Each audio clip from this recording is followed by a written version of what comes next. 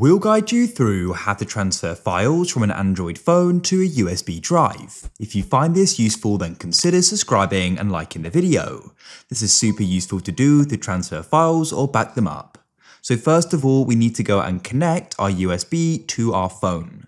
So what you need to do is go and see if you can go and directly connect it because some USB drives are going to have the same port as your phone, otherwise you're going to need an adapter. So in this case, my phone is USB-C. So what I need is a USB-C adapter to USB. So I can then go and plug my USB in there. I'll link some adapters down below you can check out. After you've connected it, you then need to go and open up your Files app. So I've got mine here. Now, what you want to do is if you just come to the main page here, you can scroll down and you can go and see my USB storage here. You can go and click on it and go and see what you've got in there.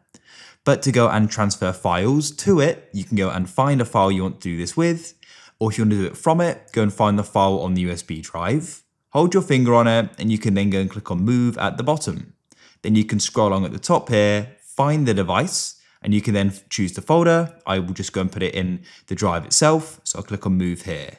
And like that, it's now been moved.